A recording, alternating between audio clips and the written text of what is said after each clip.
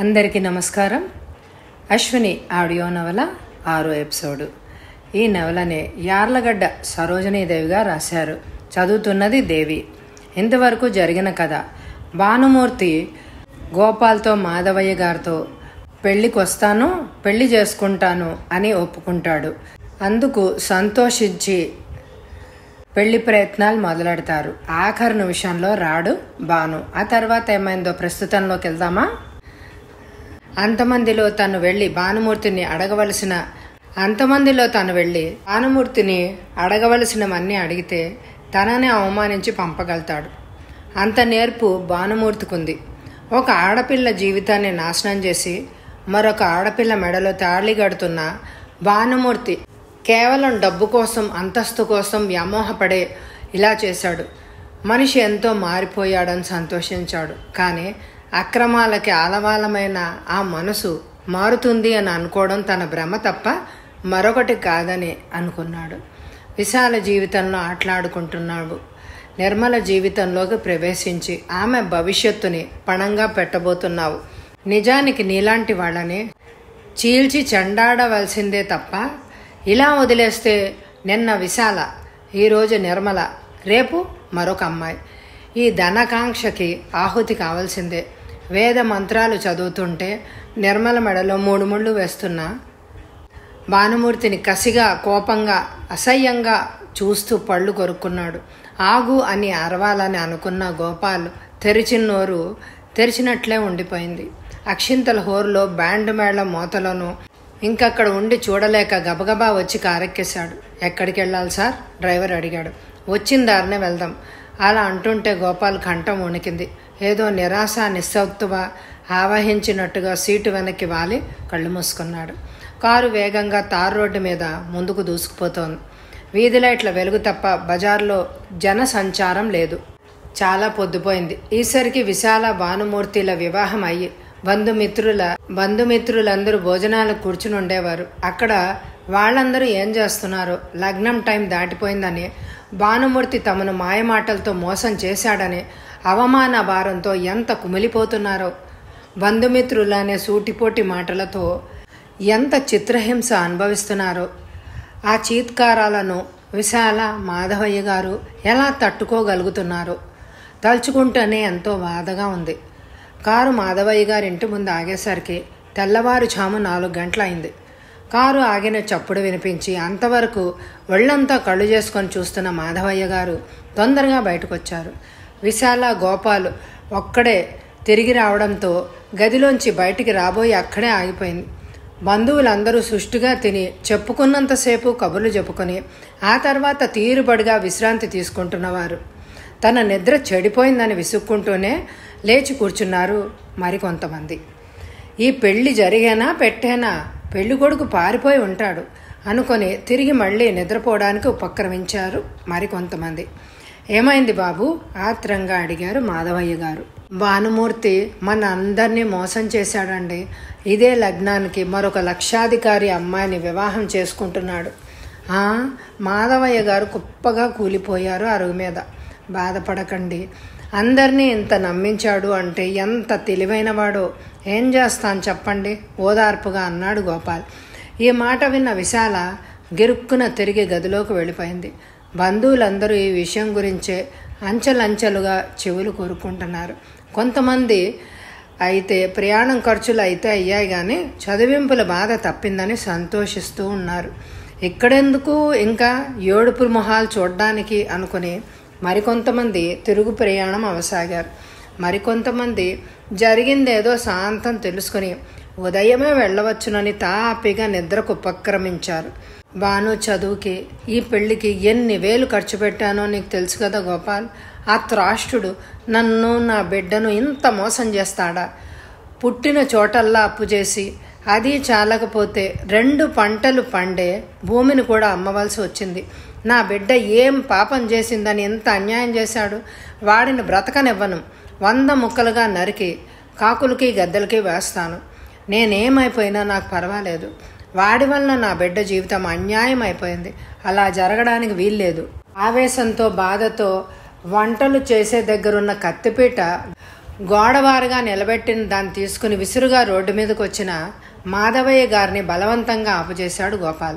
ఇప్పుడు బాను మనకు కనిపించనంత స్థితిలోకి వెళ్ళిపోయాడు.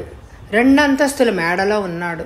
మన ఆవేశం మనకే శత్రువయ్యే పరిస్థితులు కల్పించగలంత ఎత్తుకు ఎదిగిపోయాడు. అని కత్తిపీటను తీసుకొని దూరంగా విసిరేశాడు గోపాల్. ఇప్పుడు నేను తల ఎలా ఎత్తుకు తిరగగలను గోపాల్? నాకు చావు తప్ప మరొక మార్గం లేదు అంటూ బావురమన్నారు మాధవయ్య గారు. అంత పెద్ద మనిషి తన చేతులు పట్టుకుని చిన్న పిల్లవాడి మలే ఏడుస్తుంటే గోపాల్ మనసు నీరైపోయింది. పెళ్ళి కూతురు కనిపించడం లేదు అన్న కేకలు వినిపించేసరికి అందరూ లోపలికి పరిగెత్తారు. వారికంటే ముందే లోపలికి ప్రవేశించి గదులన్నిటినీ వెతికి పెరట్లోకి వచ్చాడు. నూతిలోకి టార్చ్ వేసి చూశాడు. అక్కడా కనిపించలేదు. వెనకవైపు దొడ్డి తలుపులు తీసి ఉండడంతో బయటికి పరిగెత్తాడు. దూరంగా వీధి కుక్కలు అరుస్తుండడంతో వేగంగా అటువైపుకు పరిగెత్తాడు. దుప్పటి ముసుగేసుకుని పరుగులాంటి నడకతో ముందుకు వెళ్తున్న ఒక ఆకారం కనిపించింది. తను కూడా పరుగుదీశాడు కానీ అప్పటికే ఆ ఆకారం ఊరి చివరగా ఉన్న గుడి బావి దగ్గరకు చేరేసరికి గోపాల్లో అనుమానం నిజమైంది. విశాల ఆగు అన్న కేకతో పాటు పరిగెత్తుకుంటూ వెళ్ళి నూతి గట్టు మీదకి ఎక్కిన ఆ ఆకారాన్ని వాటేసుకుని బలంగా కిందకి లాగేశాడు. నన్ను వదలండి వదలండి గింజుకుంటున్న విశాలను పట్టుకోవడం సాధ్యం కాలేదు. ఆ పెనుగులాటలో పట్టు జారిపోవడం విశాల తిరిగి నూతిగట్టు మీదకెక్కి నీళ్ళలోకి దూకబోయేంతలో విసురుగా కిందకి చెయ్యి పెట్టి లాగి కోపంతో అసహనంతో దూరంగా లాక్కు వెళ్ళి నేల మీద కొలేశాడు గోపాల్. చచ్చిపోయి ఎవరిని సాధించాలని? నన్ను నేనే సాధించుకోవాలని. ఇంత అవమానం జరిగిన తర్వాత నేను బ్రతికుండి ఏం లాభం? ఈ లోకం కాకుల్లాగా నన్ను ఈటెల్లాంటి మాటలతో పొడుస్తూ ఉంటే భరించగలిగే శక్తి నాలో లేదు. అందుకే అందుకే చావాలని అనుకుంటున్నాను. నా చావుతో నన్ను నేను సాధించుకోవాలనుకుంటున్నానే కానీ ఎవరో ఏదో చేశారని పిరికి మనిషిగా చావడమేనా? ప్రతి సమస్యకి చావే పరిష్కారం అయితే ఈసరికి మన దేశంలో మూడొంతుల జనాభా తగ్గిపోయి ఉండేది. పిరికితనంగా ఆలోచించే బదులు ధైర్యంగా పరిస్థితులను ఎదుర్కోగల శక్తిని సంపాదించుకోవాలే కానీ ఇలా పరాజయం కోసం వెతుక్కుంటారా? గోపాల్ మాటలు విశాల మనసుకి కొంత ఉపశమనాన్ని కలిగించినప్పటికీ దుఃఖం మాత్రం ఆగడం లేదు. ఇంత అవమానాన్ని తట్టుకోవడం తన వల్ల కావడం లేదు. ఎలా ఎదుర్కోమంటారు? పెళ్ళి చెడిపోయి ఇంతమంది బంధువులలో అవమానించిన తర్వాత బ్రతికి ఏం లాభం? ఎవరి కోసం బ్రతకాలి? ఏం చూసుకొని బ్రతకాలి? నా కోసం. నా కోసం విశాల నేను నిన్ను వివాహం చేసుకుంటాను. ఇప్పుడే ఈ బంధువుల సమక్షంలోనే. ఏంటండి మీరంటుంది? ఆశ్చర్య విపారిత నేత్రాలతో గోపాల్ వంక విస్తుపోతూ చూసింది విశాల. అవును నేను నిన్ను వివాహం చేసుకుంటాను.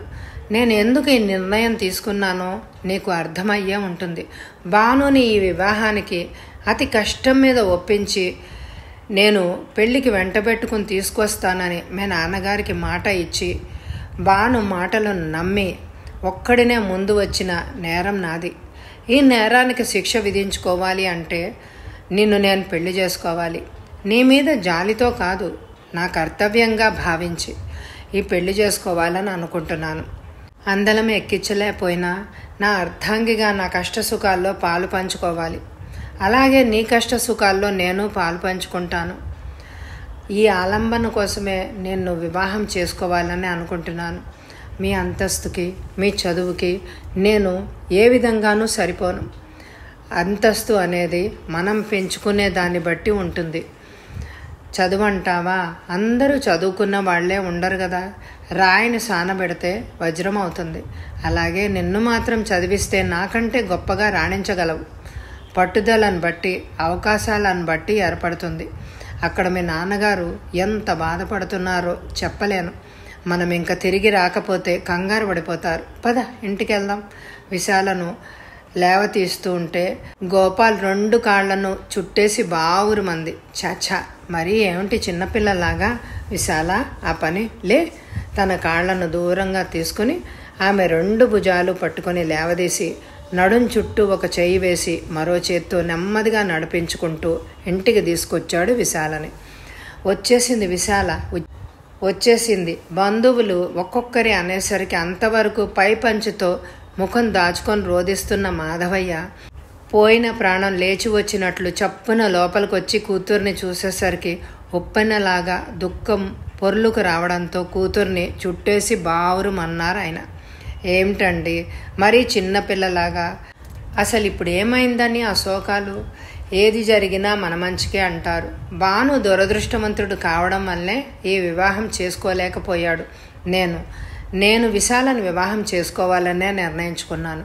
బంధువులు భజంత్రీల వాళ్ళు రెడీగానే ఉన్నారు కాబట్టి వివాహం జరిపించండి మా ఇద్దరికీను అంటున్న గోపాల్ని సంభ్రమాశ్చర్యాలతో చూశారు అందరూను. బాబు గోపాల్ మా విశాలను మీరు చేసుకుంటారా? మీ అంతస్తు మీ చదువు ముందు మా విశాల ఏ పాటి ఆస్తికి మించిన అప్పులతో మిగిలిన నేను మీకేమి ఇచ్చుకోగలం వరకట్నంగా? అన్నారు మాధవయ్య గారు. అదేమీ నాకు అవసరం లేదు. మీలాంటి పెద్ద మనుషులకి అల్లుడు కావడం విశాల లాంటి ఉత్తమురాలకి భర్తనవ్వడం అంటే అదృష్టం. మీరు ఇచ్చే వరకట్నంలో లేదండి. భజంత్రీల వాళ్ళని లేపండి. పురోహితుడు ఎక్కడున్నాడో వెతికి తీసుకురండి. బాబు మీ అమ్మ నాన్నగారు ఏమంటారు? ఏమి అనరు. తన కొడుకు ఘనకార్యం చేశాడని సంతోషిస్తారు. ముందు మీరు లేచి కళ్యాణ మండపం దగ్గరికి నడవండి.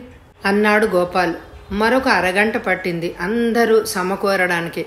వెళ్ళకుండా ఉన్న బంధుమిత్రుల సమక్షంలోనే గోపాలు విశాల వివాహం పురోహితుల వేద మంత్రాలతో జరిగిపోయింది. వివాహం జరుగుతున్నంతసేపు మాధవయ్య గారు కళ్ళ నీళ్ళతో నిండిపోతూ ఉంటే పై పంచతో తుడుచుకుంటున్న కొద్దీ ఊరిపోతూనే ఉన్నాయి.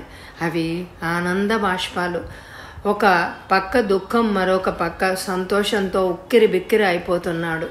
బంధువులందరూ ఆశ్చర్యంతో చెవులు కొరుక్కోవడం అసలు ఇలా ఎంతమందికి జరుగుతుందని ఎక్కడో కానీ ఇలా జరగదు. జరిగిన ఆ వెంటనే ఇంత అందమైన వ్యక్తి అందున డాక్టర్తో వివాహం జరగడం చాలా అరుదు. లాంటి వ్యాఖ్యానాలతో పెళ్ళి అయిందనిపించింది. ఎవరి దారిన వాళ్ళు వెళ్ళిపోయేసరికి పన్నెండు గంటలైంది మధ్యాహ్నం.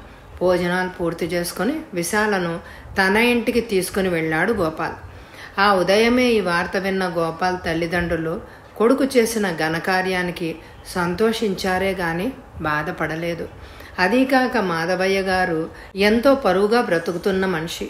అలాంటి వ్యక్తికి ఇంత అవమానం జరిగినందుకు సమయానికి తన కొడుకు ఆయన పరువు నిలబెట్టినందుకు ఆనందించారు. కోడలు వచ్చేసరికి హారతిచ్చి ఆ రాత్రి ముఖ్యమైన బంధువులందరికీ భోజనాలు కూడా ఏర్పాటు చేశారు. లంకంత ఇల్లు ఎటు చూసినా సిరి సంపదలతో తొలతూగుతోంది. ఆ ఇంట్లోని ఆధునికమైన ఫర్నిచరు విలువైన వస్తువులు ఉన్నాయి. పిలిస్తే పలికే నౌకర్లు అత్తగారి ఆదరణ మామగారి గౌరవమైన పిలుపు వరసైన వాళ్ళ పరిహాసాలతో ఆ సాయంత్రం జరిగిపోయింది విశాలకే. నిజంగా తను చావబోయేదాన్నే రక్షించి తనదానిగా చేసుకున్న గోపాల్కి తన జీవితాంతం రుణపడే ఉంటుంది. కానీ తన అదృష్టం ఈ విధంగా ఉంటుందని కల్లో కూడా ఊహించలేదు తను. ఆ రాత్రి విశాల పడుకునేందుకు ప్రత్యేకించి మేడ మీద గది ఏర్పాటు చేసింది అత్తగారు. తనే కోడలికి ముస్తాబ్ చేసింది. గదిలోకి వచ్చిన విశాలకి మంచం మీద కొత్త దుప్పటి మంచానికి కొంత దూరంలో ఉన్న టీపాయ్ మీద పళ్ళుతో పాటు పాల గ్లాసు తలగడ మీద మల్లెపూలు కుప్పగా పోసి ఉన్నాయి వాటినన్నింటినీ చూడగానే విశాల గుండె గుబేలమంది. పెళ్ళైన తర్వాత మొదటి రాత్రి తతంగం అన్న మాట భార్యాభర్తలు ఒంటరిగా ఉండి ఒకరి మనసులోని భావాలను మరొకరికి స్వేచ్ఛగా వెల్లడించుకునేందుకు ఒకరి మంచి మరొకరికి సుఖాలు అందించుకోవడంలో ఏకాంతం కావాలి. అలాంటి ఏకాంతం తామిద్దరికి ఏర్పరిచారు. కానీ ఆ సమయానికి వచ్చిన తనను రక్షించడమే కాకపోయినా తమ కుటుంబం పరువుని కూడా నిలబెట్టారు. ఒక విధంగా తనకి మించిన అంతస్తులోకే వెళ్ళింది. అత్తగారు మామగారు దేవతా స్వరూపుల వలె ఉన్నారు. గోపాల్ గురించి పట్నం నుంచి రావడంతో ఏక బిగిన అతని మంచితనం గురించి తండ్రి చెప్తూ ఉంటే తను విని ఎంతగానో ఆనందించింది. కానీ ఇప్పుడు ప్రత్యక్షంగా చూసింది. కానీ మనస్తత్వం ఎలాంటిదో తన గత జీవితం గురించి తరచి తరచి ప్రశ్నించి తనను అవహేళన చేస్తే అంతకంటే అవమానం తనకి లేదు. అలా అడిగించుకునే బదులు చావడమే మంచిది. కానీ గోపాల్ అలాంటి సంస్కారహీనుడు కాదని తన తొలిచూపిలోనే గ్రహించింది.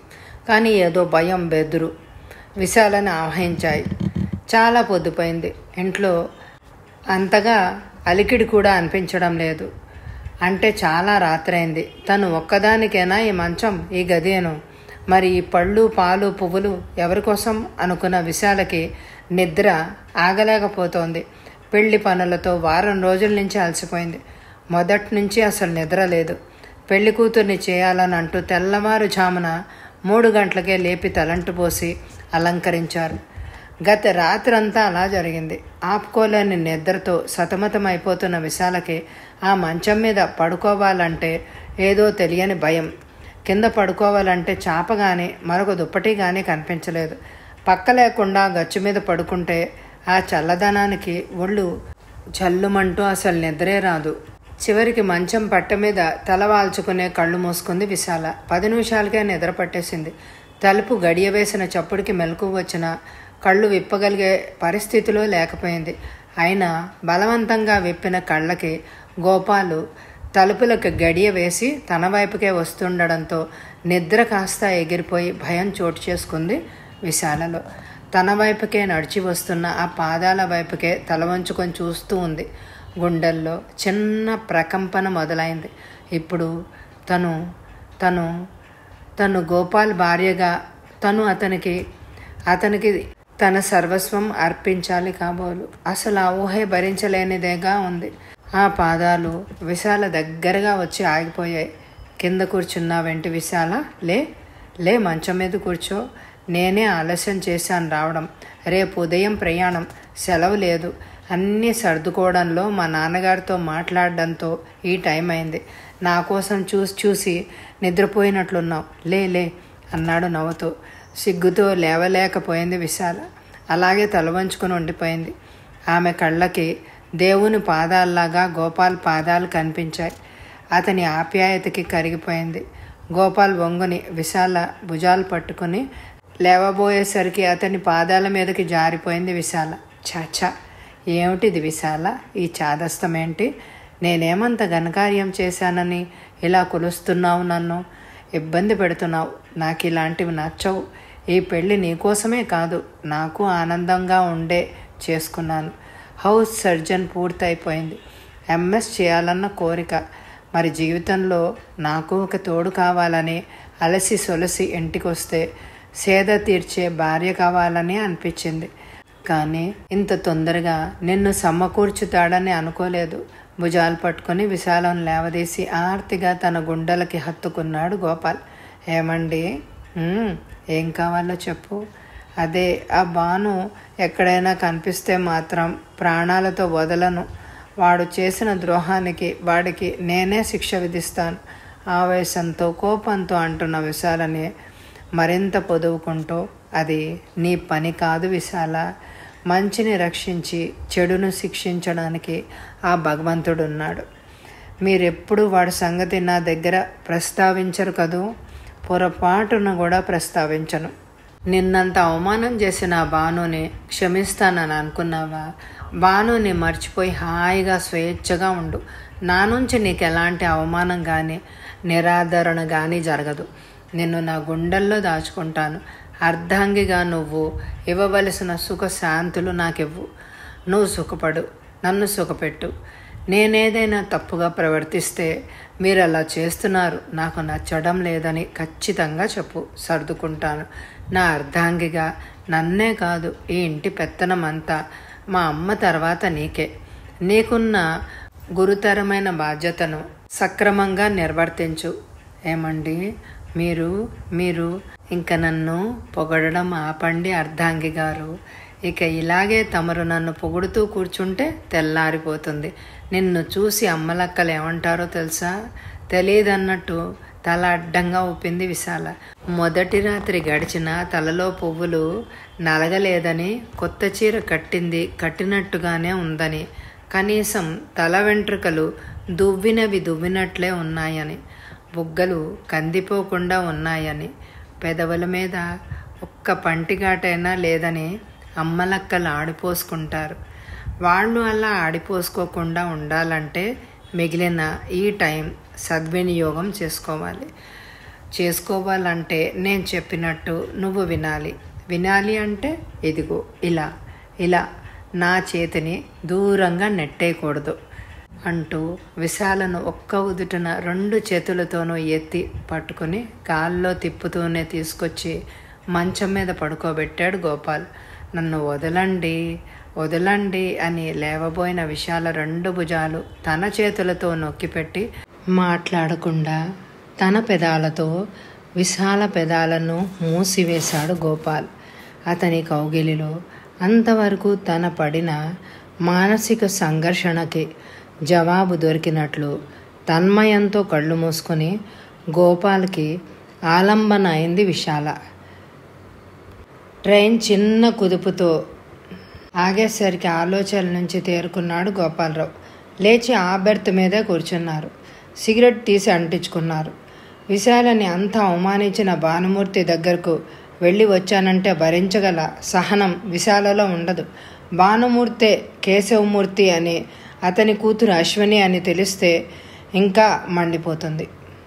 అందుకే మూర్తి టెలిగ్రామ్ ఇచ్చిన తన మిత్రుడు మూర్తిగానే చెప్పాడు. వారిద్దరికీ భాను చిరపరిచితం స్నేహితులిద్దరికీ మూర్తిగా పరిచయం. అయినా తన స్నేహితుడు మూర్తిగానే పరిగణించబడుతున్నాడు. అసలు అశ్వినిని ఏ విధంగా తన ఇంట్లో ప్రవేశపెట్టాలి? విశాలను తను నమ్మించగలడా? ఆ తర్వాత తెలిస్తే ఎంత బాధపడుతుంది? ఇంకెంత గొడవ చేస్తుంది? జాగ్రత్తగా విశాలను ఒప్పించాలి. ట్రైన్ బయలుదేరింది.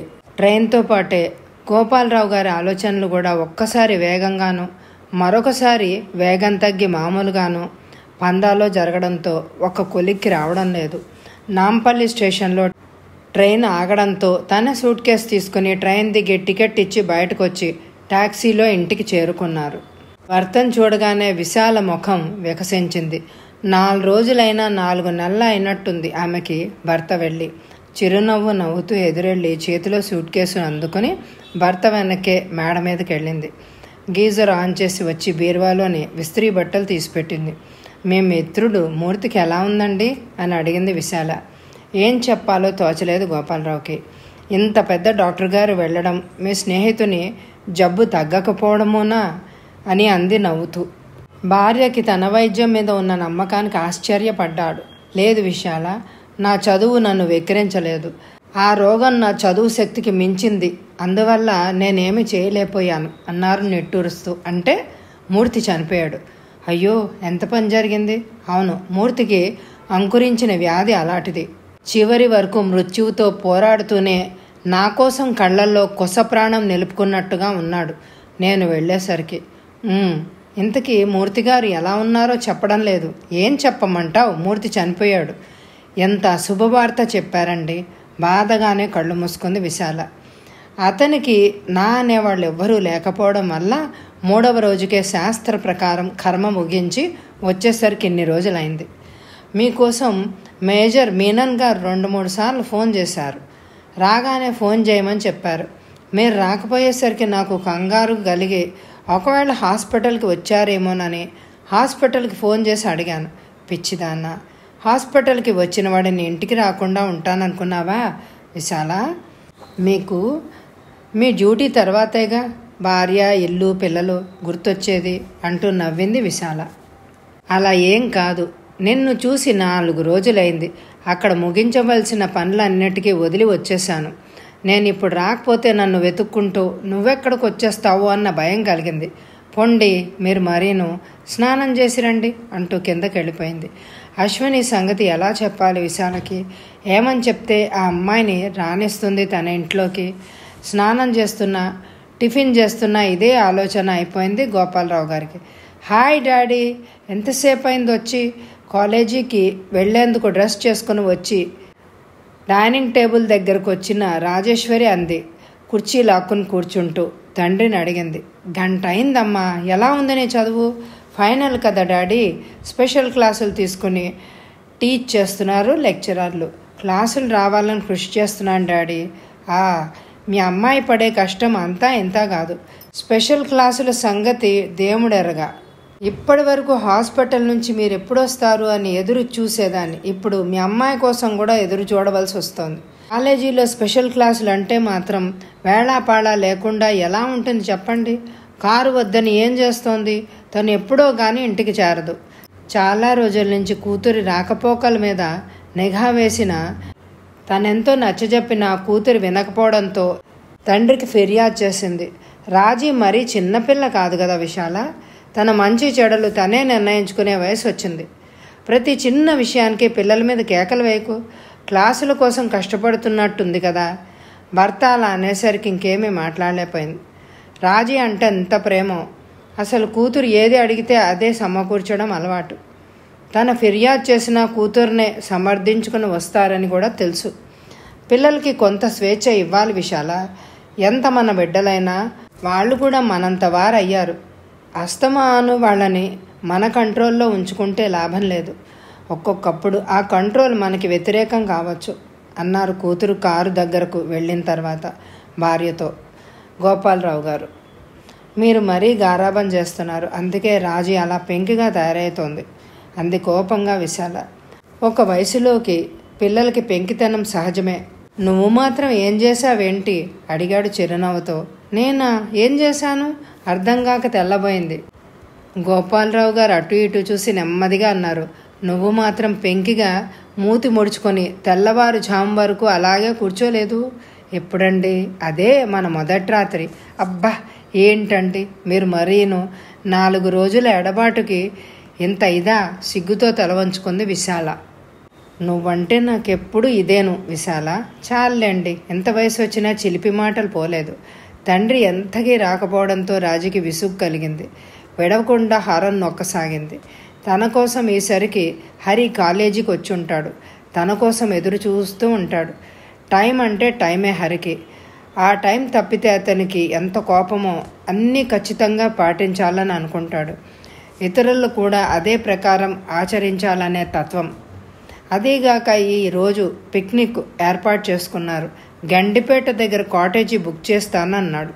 అమ్మ విధించే ఆంక్షల నుంచి దూరంగా తప్పుకోవాలన్న కోరికతోనే హరితో స్నేహం పెంచుకుంది. అతను బాగా డబ్బున్నాడు. ఖర్చు చేయడంలో అతనికి మించిన వాళ్ళే లేరు. అలాగే అనుభవించాలనుకున్నాను. రసికత్వంలో అతనికి సాటి మరెవరూ లేరు. ఏమ్మా కాలేజీ టైం అయిందా? అడిగారు.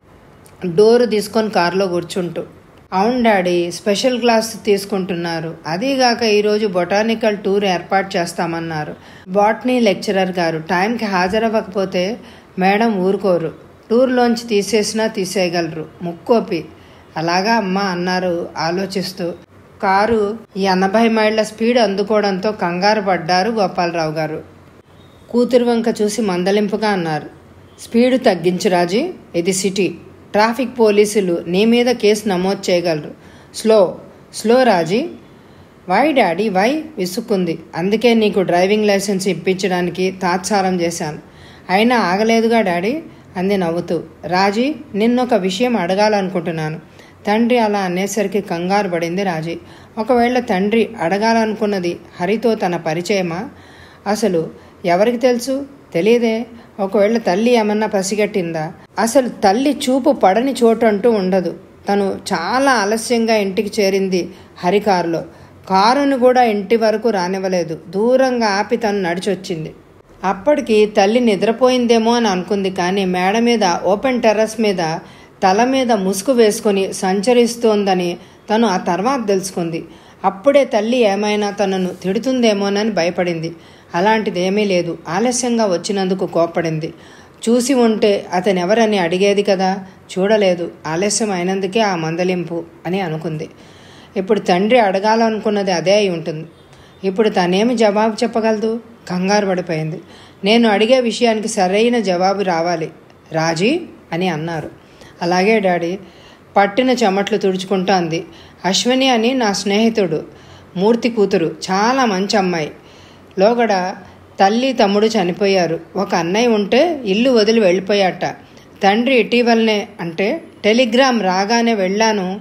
వెళ్ళిన మూడో రోజునే తీవ్రమైన క్యాన్సర్ వ్యాధితో చనిపోయాడు. చనిపోతూ కూతురు అశ్వనిని బాధ్యత నా మీద ఉంచాడు. ఆ మాటలతో తేరుకుంది రాజీ. అమ్మయ్యా అనుకుని తేలిగ్గా నెట్టూర్చింది. పట్టిన చెమటను తుడుచుకుంది. అశ్వని నీ మన ఇంటికి తీసుకురావాలని అనుకుంటున్నాను. తీసుకొచ్చే ముందు నీ ఇష్టం ఏమిటో తెలుసుకుందామని చెప్పమంటారా? ఏం చెప్తోందన్న కుతూహలం కలిగినా ఆ కుతూహలం ముందు ఓటమి ఎదుర్కొంటానేమోనని భయం కూడా కలిగింది గోపాలరావుకి. తప్పకుండా తీసుకురండి డాడీ. ఒక ఆడపిల్లకి ఆశ్రయం ఇవ్వడం మనము ఒక మంచి పని చేశామన్న తృప్తి ఉంటుంది కదా. బేష్ సరిగ్గా నా మనసులోని మాటను చెప్పావమ్మా. ఒక మంచి పని చేయడానికి కూడా మరొకరి సహకారము అవసరం అని నిన్ను అడిగాను. అశ్విని చాలా మంచి అమ్మాయి బుద్ధిమంతురాలు కూడాను. నాన్న వాళ్ళు ఎవరూ లేకపోవడంతో స్నేహితుని మీద ఉన్న అభిమానంతో తీసుకొచ్చి ఇక్కడ ఉంచుదామని. ఎక్కువ కాలం ఉండదు. తన అన్న ఒకడు దేశంలోకి వెళ్ళట. అతను రావడంతో వెళ్ళిపోతుంది. కానీ ఏ విషయానికి అశ్వినిని నొప్పించకూడదు. ఆ అమ్మాయి మనసు చాలా సున్నితమైంది. అలాగే డాడీ నేను మాత్రం అశ్వినిని ఏమంటాను? నాకు అసలు ఈ ఫైనల్స్ అయ్యే వరకు క్షణం తీరుబడి ఉండదు. అంది తేలిగ్గా నవ్వుతూ. రాజీకి కావాల్సింది ఆ వచ్చే అశ్విని తన గదిని నీటుగా ఎప్పటికప్పుడు సర్ది ఉంచుతూ తనకింత బెడ్ కాఫీ ఇస్తే చాలు. ఎక్కడికి వెళ్ళావు ఎంత ఆలస్యం అయింది ఏంటి అని ప్రశ్నించకుండా ఉంటే చాలు. అందుకే అశ్వినిని తీసుకువస్తానంటే తేలిగ్గా అంగీకరించింది. ఇంతలో కాలేజీ రావడంతో కారుని గేట్ ముందే ఆపి తను దిగి తండ్రికి బాయ్ చెప్పి లోపలికి వెళ్ళినట్టే వెళ్ళి తండ్రి వెళ్ళిపోయిన తర్వాత తిరిగి గేట్ దగ్గరకు వచ్చి అటు ఇటు చూసింది. దూరంలో పింక్ కలర్ ఫియట్ కారు కనిపించేసరికి రాజీ ముఖం ఆనందంతో విప్పారింది. తను ఆలస్యంగా వచ్చినందుకు హరితో ఎన్ని చివాట్లు తినవలసి వస్తుందోనని భయపడింది కానీ అతను ఇప్పుడే చెప్పిన టైం కంటే ఆలస్యంగా వస్తున్నాడు. రోజు తనతో పోట్లాడే ఛాన్సు ఈరోజు తను తీసుకోవాలి అనుకుని చిరాగ్గా మొహం పెట్టి అసహనంగా చుట్టూ చూస్తున్నట్టు చూపులని మార్చి మార్చి నిలబడింది. వచ్చేసావా రాజీ? నేనే ఆలస్యం చేశాను. సారీ అన్నాడు హరి కారు డోర్ తెరిచి పట్టుకొని. సారీ చెప్పడం తేలికే కానీ నేను ఎన్ని గంటల నుంచి నీ కోసం ఎదురు చూస్తున్నానో తెలుసా? సరేలే కారెక్కు తర్వాత మాట్లాడుతూ కానీ వెంటనే రాజీ కారెక్కి హరి పక్కన కూర్చుని డోర్ మూసేసరికి కార్నే స్టార్ట్ చేశాడు. పది నిమిషాల వరకు ఇద్దరి మధ్య నిశ్శబ్దం రాజ్యమేలింది రాజీకి కోపం వచ్చిందని అర్థమైంది. ఎలా ప్రసన్నురాల్ని చేసుకోవాలా అన్నదే అతని ఆలోచన. ఏయ్ ఏమిటా మూతి బిగించి కూర్చోవడం? నేనేదో నీకు ఇష్టం లేకుండా ఎత్తుకెళ్ళిపోతున్నట్టు పోజు నువ్వును? అన్నాడు రాజీ వంక చూస్తూ. మాట్లాడవలసిందే పాపం అంటూ మొహం దిప్పు కూర్చుంది రాజీ. ఆలస్యం అయిందేనా దేవిగారు అలక? లేకపోతే ఏంటి? నన్నేమో టైం ప్రకారం రమ్మని నువ్వేమో తాపీగా వస్తావా? క్లాస్కు రావా అని అడిగే వాళ్ళకి ఏమని సమాధానం చెప్పను? అంతవరకు ఆ గేటు దగ్గర పడి నీకోసం ఎదురు చూడడంలో ఎంత ఇన్సల్టింగ్గా ఉంటుందో నీకేం తెలుసు? సారీ చెప్పాగా. ఒక పట్టాన మా కీచకులం గారు వదలలేదు. మరి అంత దారుణంగా మీ తండ్రి గారిని వర్ణించకు. నిజానికి నాకు ఆయన తండ్రి కాదు. ఆపదలో ఉంటే కాపాడానని నన్ను ఆదరించి తన కొడుకుగా చూసుకుని తన వ్యాపార రహస్యాలన్నీ నాకు చెప్పి తన ఆధ్వర్యంలో నా చేత చేయిస్తున్నాడు. నేను కూడా ఆయన అంటే ఎంతో గౌరవంగా ఉంటాను. కన్న కొడుకు కన్నా మెన్నగా చూసుకుంటారు. నేను అలాగే ఉంటాను. ఒకనాడు నా తండ్రి పెట్టిన చిత్రహింసలు భరించలేక పారిపోయి రాబట్టి ఇవాళ ఇంత అదృష్టవంతుణ్ణి అవగలిగాను ఆ తండ్రి దగ్గరే ఉండి ఉంటే ఆయన తన్నే తన్నులకి ఒకరోజు తిండి లేక కడుపు పట్టుకుని ఉన్న తను తాగుడికి మాత్రం డబ్బులు సంపాదించుకునేవాడు. ఈ శరీరంలో ఈ కండలు కూడా మిగిలేవి కావు. ఆయన దగ్గరుంటే నీ కోపం పోగొట్టడానికి కీచకుడు అన్నాను కానీ నిజానికి ఆయన నా పాలిట దేవుడు.